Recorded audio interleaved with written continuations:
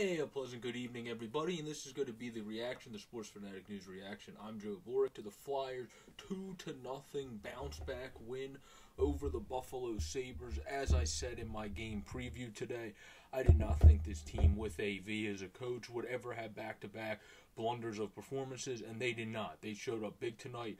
Moose showed up huge tonight. Brian Elliott. Brian Elliott was huge tonight played an absolutely fantastic game, saving all of his 40 shots, making some pivotal key saves early because this wasn't the most beautiful game, but we played a good game, and early Elliott was really able to establish some momentum with some very key saves early, especially the one he fell over, saved the shot, saved the rebound shot.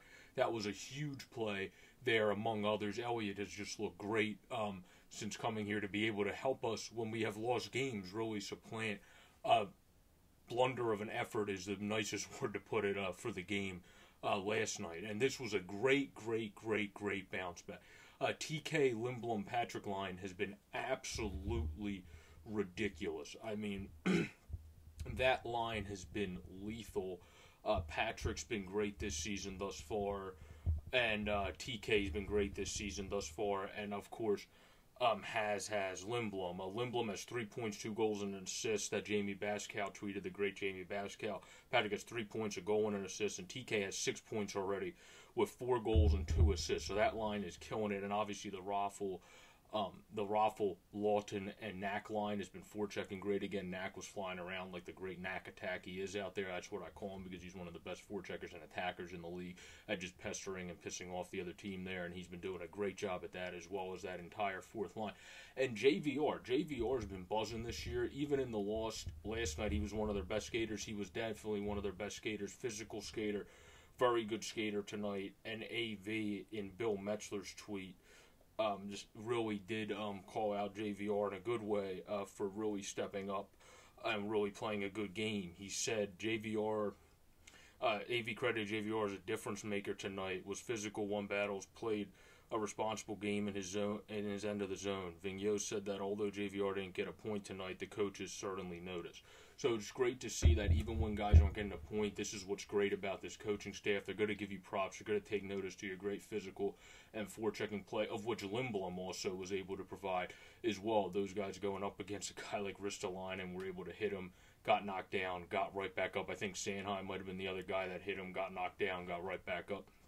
Well, it was great to see the big physical play, as Hartsey said during the intermissions, and the prelude to the post game as well. It was very good to see the Flyers play a good forecheck, a good checking game, and just a good game overall. You got a very nice uh, breakaway goal by TK that have actually two other goal scorers in the league, in Teddy Blueger and I can't remember the other scored the same exact goal tonight with the same exact move. Don't know if I've seen that before. But Teeks was able to score a very nice play on a very nice pass up by Lindblom.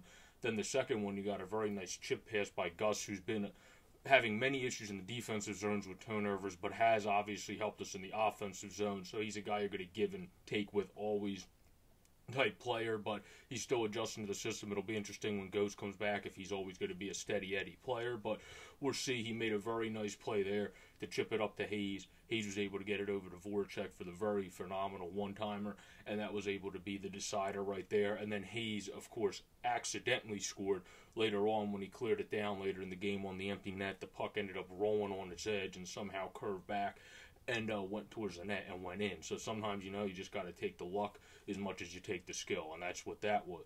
But obviously, I said tonight I thought guys that were going to be able to step up were guys like Jake Voracek, guys like Morgan Frost, who looked really good. Bless his soul. This is the first time he's been injured in his career. Hope he's going to be okay and be able to come back right away, as well as Philippe Myers, who also got injured in this game. Uh, AV said they're getting MRIs and we'll know more on Wednesday. So hopefully those guys are able to come back.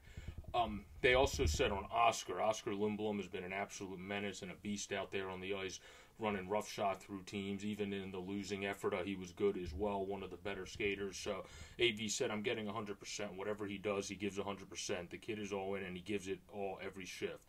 It's what I expect from him and what I expect from this team. So obviously, Oscar Lindblom already early on in his career has become a leader on this team and someone that the team looks to as a very good support system and very good guy to look to as a role model just via the way he plays the game. He's very aggressive out there. He's a very good forechecker, and he always gives that 100% tenacity, as AV said. So his closing points, this was a very good game tonight. JVR was another, another very effective skater.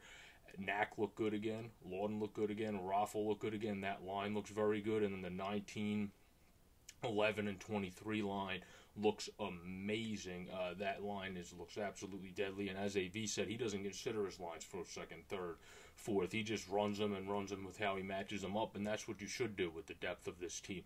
Uh, you've got very good depth. Obviously, if Frost is injured and Cooch is out at the same time, you're probably going to see Bunnaman would be my guess come in against the Bruins. And for me, with the depth, Bunnaman's a very good two-way player that doesn't match up bad against the Bruins if that has to be the case. But we'll wait and see what happens. Tonight, my three stars for the game would definitely be obviously Brian Moose Elliott as the number one star with the 40 save shutout. Then we would go to the second star, which is going to be Travis Konecny, who has been a fireball all season this far, winning the second star of the week last week, and now potting another goal tonight. And then obviously our third star will be none other than Jake Voracek, who was able to pot the one timer. Also looked good on the forecheck in the defensive zone tonight, being able to make some nice plays. He has looked significantly better on defense since AV's become the head coach and has made himself into a very good, in my opinion, 200 foot player as well as becoming a very effective player in the offensive zone as he's always been. So this has been the Flyers 2 nothing reaction over the Buffalo Sabres. We were able to split it. We start the season 3 and 1, still starting a very good, strong season. And we go in to face the Buffalo, or excuse me, the Boston Bruins, who lost to the New York Islanders 1 nothing in their last game on Thursday. So that'll be our next affair against the Boston Bruins on Thursday. Until then, have a great, safe, and pleasant week, everybody. This has been Joe Bohr from Sports Phanatic News with the reaction to the Flyers 2 0 win over the Sabres. Go Flyers anytime, anywhere, baby. Great game tonight by the boys. Peace out, everybody.